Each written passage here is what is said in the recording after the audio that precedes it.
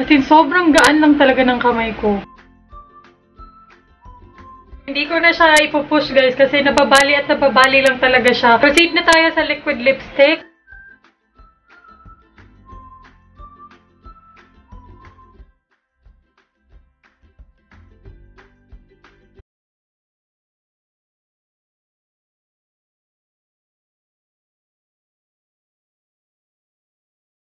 Sobrang dry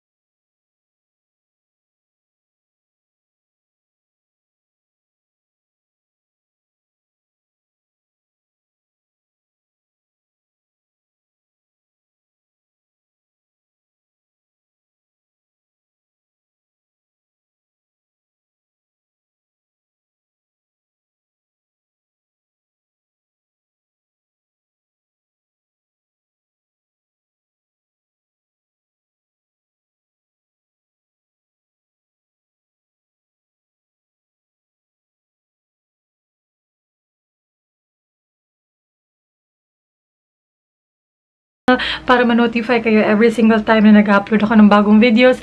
Thank you guys so much for watching. I'll see you soon and dagang salamat!